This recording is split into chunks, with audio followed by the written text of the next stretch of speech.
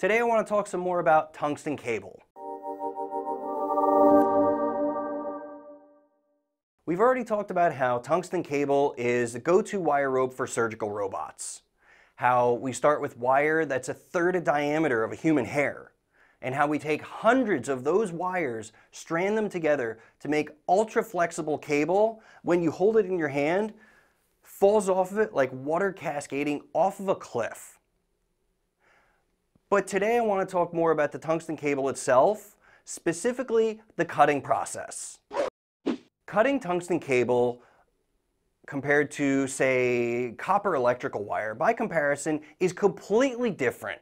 When you're cutting copper electrical wire, you can take a pair of dollar store wire snips out of your pocket, grab onto the copper wire, you can yank, you can pull, you can tear the wires apart, and end up with a cut that looks like a complete disaster.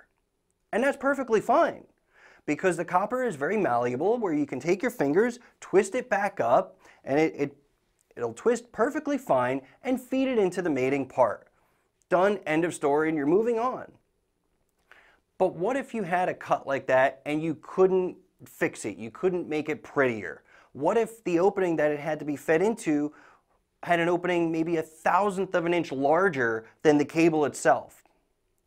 A thousandth of an inch.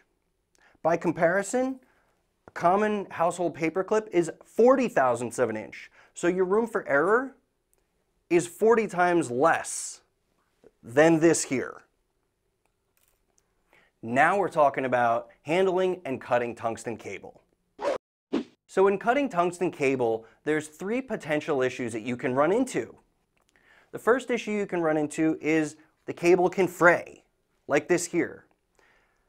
The cable, when cut, the wires begin to unwind, it might spring open, and in some cases, you can double the diameter or more. And again, if you only have a thousandth of an inch of clearance, the cable would be completely unusable. You'd have to recut the cable, or if you don't have enough material left over, throw away the cable and start over. Another issue you can run into is that the cable cut can, can introduce a burr. And when a burr is is on the cable end, it has a rough edge, sometimes a sharp edge. And when you're dealing with metal wire rope, a rough or a sharp edge can cut, it can snag. And a great comparison to this is if you're wearing a sweater and you walk past a table and the threads of your sweater get caught on the corner of a table. That corner is comparable to a burr. And the same thing happens with wire rope. If you're trying to feed that through a mating part and a burr that's sticking out grabs onto the sidewalls of that and doesn't want to go completely through. An example of that is this cable here, where the burr is actually not even on the outside of the cable, it's right in the middle, and it's sharp, it pricks my finger. Another problem you can run into is that the cable just generally deforms. Take a tennis ball, which is completely round, and you compress it from top to bottom, you're actually reducing the diameter of it, which is good. However, laterally, in the middle of it, you're expanding it. So if you do something like that with a piece of cable, if you're, you're mechanically cutting it and compressing it, you're actually going to elongate the middle of it and make it larger than its original profile. I have an example of that here where it was mechanically cut. You see the top and bottom were crushed. What happened to the middle? It made it, you know, made it much wider. Again, this is something that you just can't use. So how do we solve this problem? The answer is that the cable is electrocut. Electrocutting is a process where the cable is put into a machine and it's hit with an electrical arc. The intensity from that electrical arc actually separates the piece of cable into two pieces. An added benefit of this is that it actually fuses the wires together. So fraying doesn't happen. However, the electrocutting process can still introduce burrs or deform the cable end.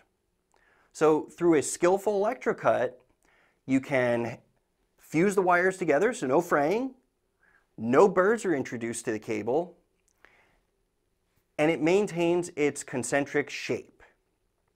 In some cases, a plasma weld can also be added to that end to reinforce the cut. And the end result is a conical, smooth, tungsten cable cut that feeds the remaining part with no issue. For a complete list of our products, you can go to savacable.com, Leave any questions or ideas in the comments. You can find us anywhere on social media. And remember, we have a full machining department that can custom manufacture just about anything. Let us know how we can help you. Thanks.